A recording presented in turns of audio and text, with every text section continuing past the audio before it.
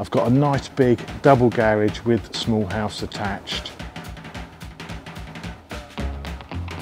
So in this series, we're going to be transforming this garage into the ultimate showroom, workshop, sort of studio space as well for me to record all of my videos in. I'm really, really excited about this. But first of all, let's open the shutters and take you for a quick tour.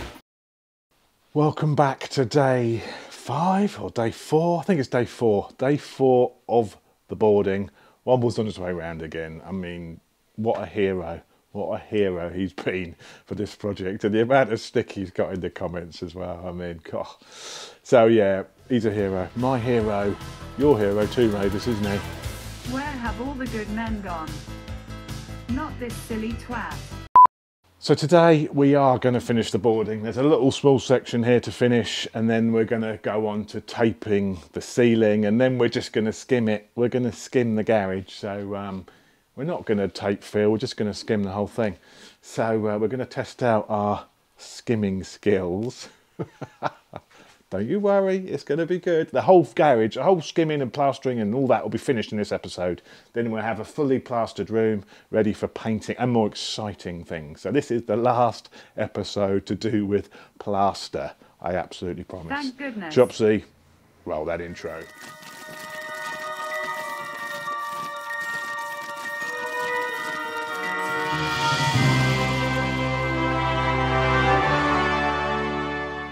Put some sockets over here on the back wall. We've got some USB, two USB sockets here.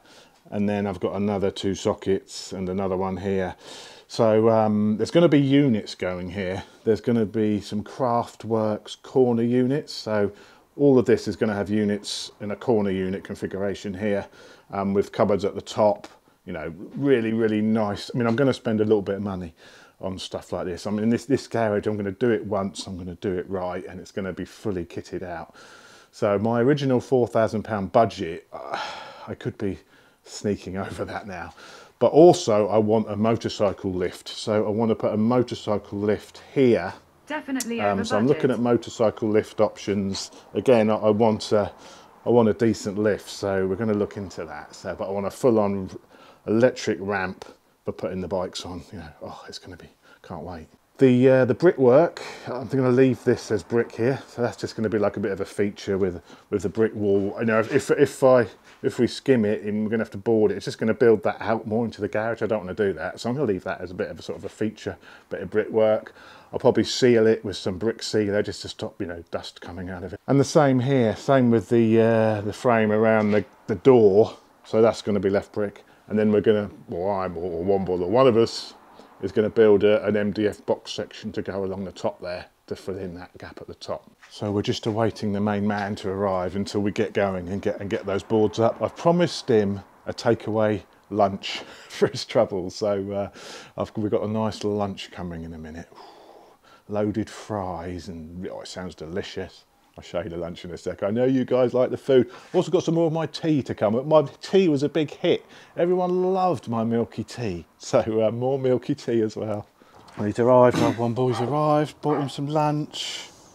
Eat got it all, man, yeah, got it all. We got a drink. You're not on the Vimto today? No, down market today. That is proper Pepsi. Everybody's gone for egg, egg mayo though. What are you going to do to me later on with that? Well, I'm, I'm thinking this bungs you up. So I haven't got to have toilet breaks. what have you got anyway? Loaded fries with sausage. There's Can you that with your fingers? Yeah, I'm have to get a fork, mate. Shovel. That. Absolute stuff. I need to have a little lie down now. I don't need to table, take you.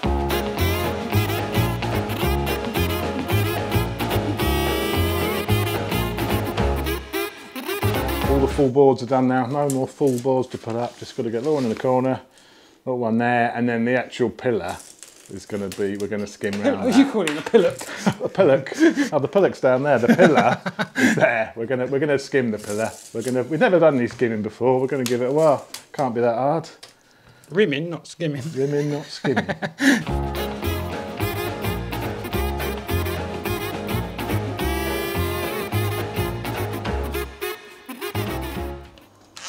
final screw.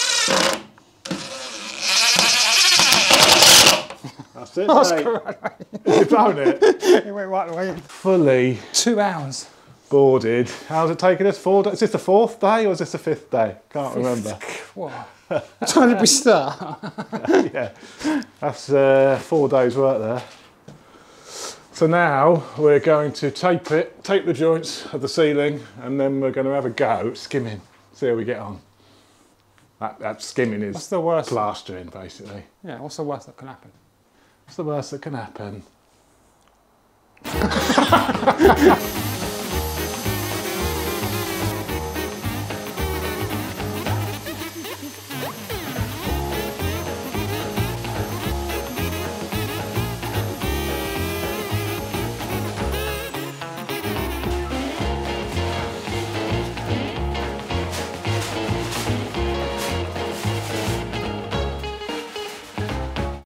What have you got? Is that coffee? I've got tea, no much tea. Look at that. That's how tea should be made. Still looks a bit weak to me. Beautiful. Oh. No, mate, come on, play the game. Play the game.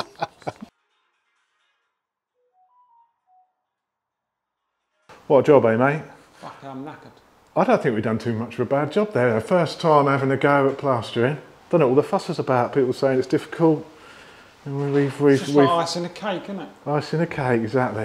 And we've got a little, uh, little, a little box section above there, a little plastered. I don't believe you two did that. Get plastered. Lovely. Only got to paint it now, put a floor in, wire it up, move everything to where it's got to be, order the stuff for over there. And yeah, there are a few little jobs to do. but yeah, it actually looks like a like a room now, doesn't it? You think what it was like when we moved it when we first Yeah. started. We've actually got A proper studio garage. the neighbours think I'm moving some Albanians in. Rent it out. Two hundred pound a night. Probably get a few in here. So when you're coming around to help me paint it then? I'm a little bit. I can't get out. Open this door. So the plaster is finally dry. I'm going to now do the first sort of base coat. When the plaster, when you've got fresh plaster like this, you have to coat it first of all. So what you can do is like a 50-50 mix with white paint and water. But what I've actually bought is a special stuff which is meant for fresh plaster. They talked me into it at B&Q. I knew I should have gone with a 50-50 mix, but it'll be a bit less slot. If you do a 50-50, obviously it's very wet, it drips on everything. So uh, we're gonna go with this special stuff, a bit thicker. Shouldn't be so much splash. I should be able to leave the bikes in here under their covers without worrying about them getting covered in paint. Let's give it a whirl.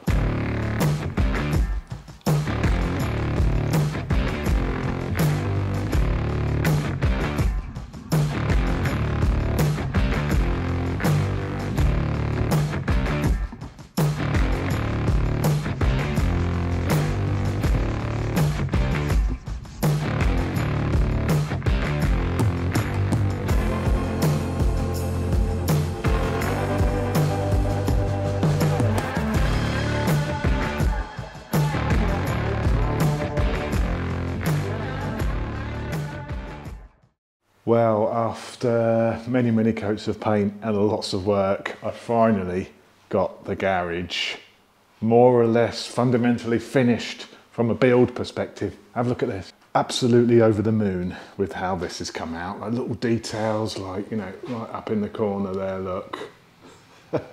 I've used some frog tape to cut in nicely with, with, with the dark colour and the, and the white. The reason for the dark is I'm going for some garage style floor mats and the floor mats were going to be exactly, the, I had the colour match to the floor mats which was that colour and once the hexagonal lighting goes in you can see how it's shiny.